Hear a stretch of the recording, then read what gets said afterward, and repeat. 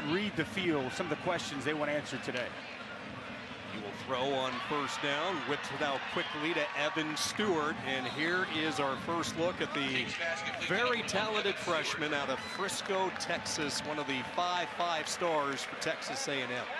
Everybody just speaking glowingly about Evan Stewart. Big time wide receiver, polished route runner, and you can see here with the ball in his hands after the catch, getting some nice positive yardage, but Jimbo Fisher told us he's been starting at receiver for us since day one in different ways in this game and throughout the season.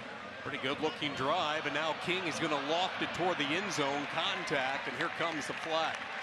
Miles Jones got great length. Pass interference. Pass interference. Number zero. This is a 15-yard penalty. Automatic first down. Jones got this Aggie offense. King patient with the throw as it's deflected away, incomplete, trying to hook up with Evan Stewart. Player, um, it's it's tough to handle and deal with. With the talent that they have assembled, they're hoping the sway will be pretty prevalent this year.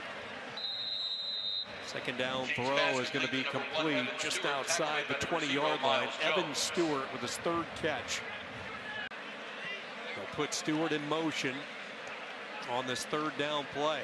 Forced to throw. Long throw is caught. Stewart shakes free from one. Still has some work to do. And all three timeouts, a minute 49 to go. The left-hander Max Johnson will look to go to work. Skidding catch made by Stewart, tipping by quarterback Haynes King on third down. Pressure up the middle, and the throw is caught. Nope, they're going to say incomplete. Stewart took a pretty good shot. Texas A&M first down from the white 42-yard line. Here's a deep ball downfield, caught by Stewart.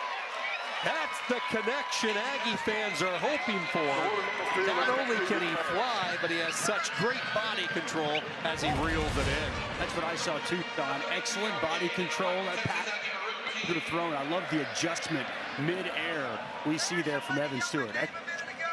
Kicking that football and bringing it in. 31 yards on the completion to Stewart, his fourth catch of the day.